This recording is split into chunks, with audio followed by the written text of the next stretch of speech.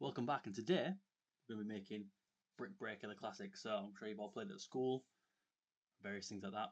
Um, where you've got a bunch of bricks on the screen up here, and then you've got to use a paddle at the bottom to go ahead and destroy those bricks. So quite a simple game, um, but teaches quite a lot of fundamentals. So we're going to stick to that today. So let's get things started by making a new P5 project in Replit or P5 editor, whichever one you're doing, and then I'm going to go ahead, go to the P5 Play website, I'm going to copy that, and we're going to replace our jsDelivr script here. So now we've got P5 Play installed along with the blank library. So, first things we need some variables. So let's go nice and easy. So we're going to have a player. So let, um, let's not call it player, we're going to need a ball, let bricks, so bricks at the top, and then let our paddle. I was going to call the paddle player, but I think paddle's better. So first thing we want to do is we're going to make a group of sprites. So we can use a thing in P5 Play called a group, which is like an array. But what we can do is we can set all the attributes and things we want. Alternatively, we could not use P5 uh, Play quite quite as easy really, and achieve the same thing. So what I might do is do another video on how you can do it without using this library. So I'm going to do bricks equals a new group like that and then we're going to set some attributes. So we've got bricks dot width, so w equals 30. We've got bricks dot pitch, so for the height, so it'll be 30 pixels by 20 pixels, and then bricks dot collider equals d for dynamic, which means basically it has collisions and physics and things. So the next thing we're going to do is create a 2D array, or for loop, sorry. Um, nested for loop. Our bricks. So you can either use a, because we're using a group, we don't need a 2D array, but if we wasn't going to use a group, we could we would have to make a 2D array.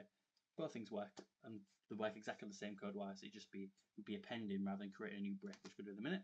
So we've got for let i equals zero, i is less than, and however many bricks you want. So I'm going to say 11 because I want um 10 bricks. And what I'm going to do is I'm going to start it not at 0, I'm going to start at 1. That's merely just later on when we draw them. Now what's even better, if I'm honest with you, is to stick a constant in. So we're going to say, um, let's say, that'll be the number of columns and rows. Okay. Um, like that. Um, so that's going to be the number of columns. Then for let j equals 0, j is less than cols. j plus plus like that. I need to get a new keyboard. It's not ideal. Um, and what I'm going to do is I'm going to say, once we've gone through our loop, for our rows and columns, we're going to make a new bricks.sprite. Make sure you've got a capital going to zoom, uh, scroll a little bit so we can just see that. And then what I'm going to do is I'm going to do i times bricks.w and then j times bricks.w. So the reason I've done that, just to explain it a little bit, is because I've started it at 1, um, essentially going to multiply. Maybe I should do that same this one as well, so it's a bit more spaced out. I'll decide later on. But basically, the first time it goes round, it'll do one sprite here for just get rid of that. It'll do um, one sprite here and here and here and draw a nice little row for us, which would be very nice and it'll it'll fit, it'll work well. Um, but yeah, essentially it's just so it spaces out properly when we when we draw that out. If I run that now, it should, if there's no errors, got, little, got one little error there, so let's just check. Um, don't know why it's not liking that. Um, new bricks.sprite, that's there. Plus plus. Doesn't like down 25 for some reason. Not too sure why it's not like in a bracket there. Maybe something daft I'm sure that I've accidentally done. So we've got a new group there. Ah, easy one. Because I talk about columns, I forgot to put the I++, plus so I should now draw some there. It's not like in line 19. From that one new bricks.sprite. Let's put a semicolon there like idiot. There we go. So that should work now. We should have a bunch of bricks. Okay, now clearly I've I'm half asleep. So I was doing it 11 by 11, so now I've got two rows of bricks there. Um, probably space them a little bit. Could maybe do do with moving them down a little bit maybe, but we'll about that for now. It's working. I can always pull them down a little bit if I need to. Um, let's just do that. See if that makes it look a little bit nicer for the rows. There we go. So we can see that a bit more now. Um, so it's spacing them out. So basically what it was doing there is because it was starting at zero, it was doing it right on the top of the screen, which isn't ideal. Um, so that's that. So now we're going to make a new new sprite. So we're going to call that ball. So we've got that already. So we can say ball equals new sprite. And uh, now I could do a lot of these things in one line, but I like to separate out if I'm honest with you. Um, so ball dot collider equals dynamic because we want it to be able to hit things. hit things, then it's not going to be a very good ball. Um, ball dot diameter. Um, 20 pixels I think would be good for a ball. We can always change that later on. Um, we've got ball dot velocity dot x. Let's put as three for now. We can change that later on. And then ball dot velocity dot y equals two. That's just so it doesn't go straight across and look silly. And then what we need to do now is we need to put in the um, functionality for if it overlaps something. By overlaps, that's going to be it's touching these um, bricks. So I'm going to do ball dot overlaps, and then the thing it's looking for, the individual bricks, and then what function we're going to call. So we're going to call it destroy. We're going to sort that out later on. And let's make a new paddle. Yep, call it paddle. So paddle equals new sprite. Then that 100 there's 100 across um then I take a 30 what should probably do actually thinking about it. Should probably have a better canvas size let's just make it a bit smaller so let's just do 300 and 200 just a bit smaller and then let's do that the width divided by 2 so in the middle so it'll still be 100 pretty much anyway uh, probably 150 is more accurate. Um, and then let's have it 30 pixels wide by 10 pixels.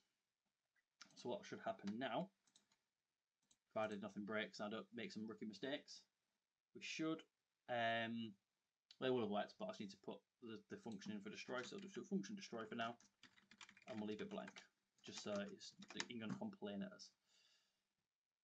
So we go, so I've got paddle, I've got a ball, and I just need to call the clear function, just so it doesn't do that and then the ball moves. So that's 90% of the game's done.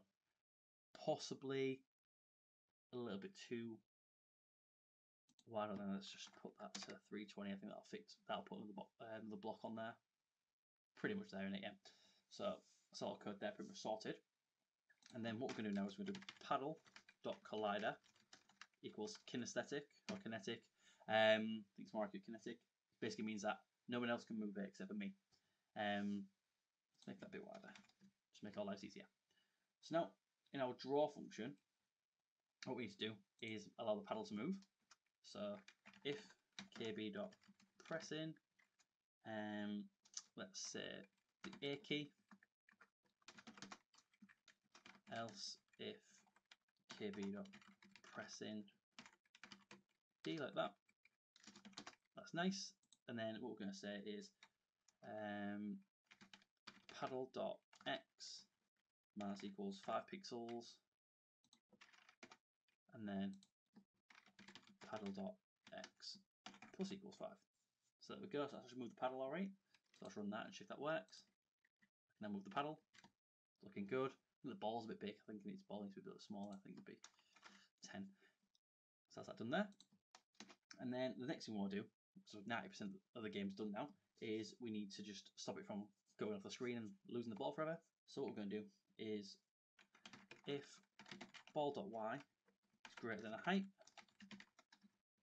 or ball.y um, is less than zero.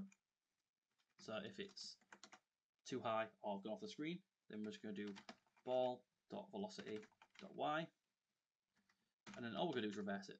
So it's just going to swap it and then else if ball.x is greater than the width or ball.x is um, less than 0,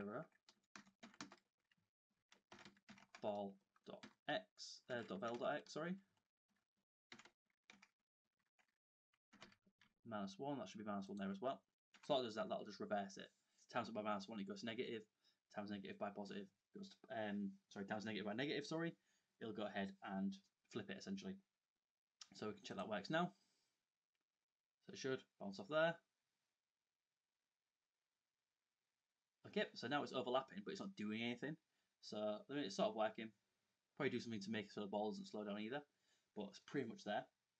But now, so it bounces off the paddle and bounces off the um, bricks and destroys them. So function destroy, we're going to pass in the player or the ball. So put B for ball, and then the thing it's touching, like that.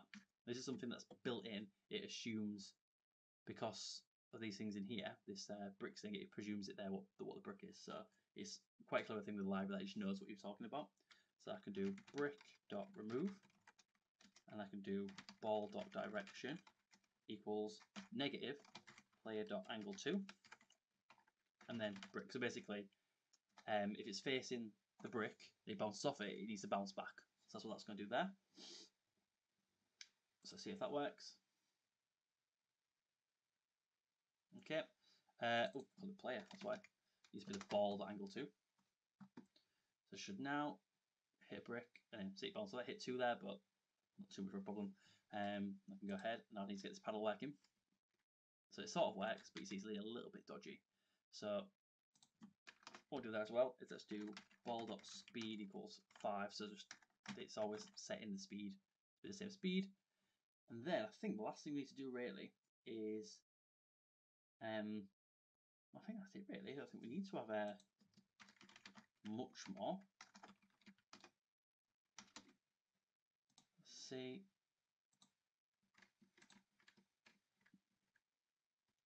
We looks like it's pretty much working if it didn't keep missing. So that's pretty much working there.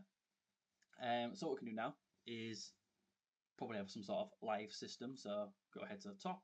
We could have something like um, let lives equals 3.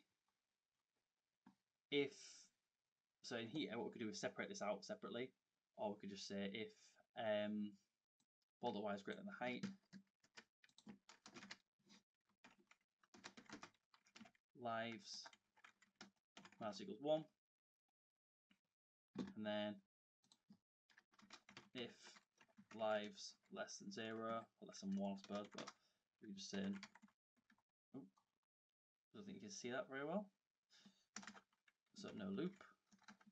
So that should mean then that our guy dies.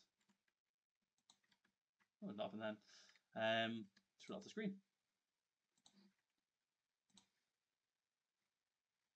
So miss, miss,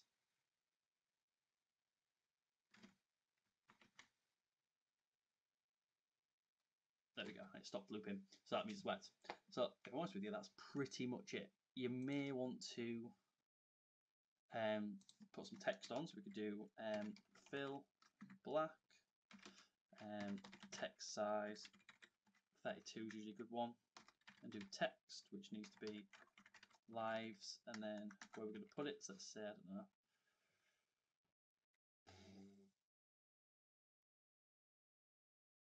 just going to hit that. So let's do it 100. So I took something to think there because I don't want it to, I want it to be actually visible. Just get off there. So see, it's, a bit, it's a, a little bit, maybe that one needs to be, the Y needs to be 100, I think. So now we should be able to see lives. There we go, three lives. And then up there like that. Okay. Well, I've actually put two A's on there, so maybe that's why it was freaking. There we go. So it's working play the game. And that's Brick Breaker. That's pretty pretty quick actually. What time we on? Let's have a look. Let's see how we do for time. So look on OBS. How long have we recording for? 14 minutes. That's pretty quick. So that's you sort of basics of collision, your balls moving, you're intersecting with a group object, and yeah, I think it was pretty easy, quite fun. And obviously you can change the colours and things, change the background colour, add in multiple levels. So you can quite easily use a group, use a for loop when you get to the next level to repopulate the group. Because you can add as many things as you want to a group. So what you could have is you know something like function next level, and then that just does a for loop. And when you get to a certain score or whatever, or when all things die, it calls the function once and just makes a three grid or whatever, and so on. Um, that's been pretty much it. So I will let you go and have a go at this if you've coded it alongside, add in those extra bits. If you enjoy the video, like, subscribe. I appreciate it. I've had a few students telling me that my um, voice is a bit monotone, but I mean, it's a bit difficult when you're talking on a computer, isn't it? But yeah, please like and subscribe, and I'll see you in the next video.